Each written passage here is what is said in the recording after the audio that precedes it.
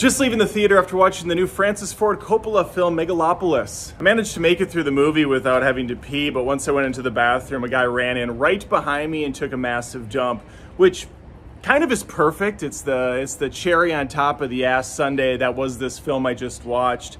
Absolutely insane movie. Francis Ford Coppola obviously has Godfather and uh, you know a bunch of classics under his belt. Apocalypse Now. This will go down in the bowels of history as one of the biggest clusterfucks I've ever watched. He made the movie for himself and no one else. And I suppose, in a sense, I give the man respect for it, but that doesn't mean I have to like it.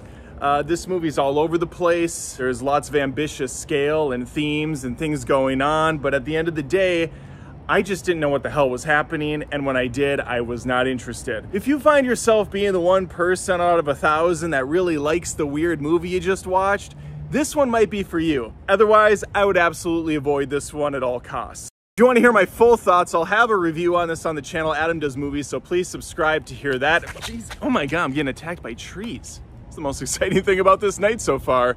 Hopefully I see you on the channel.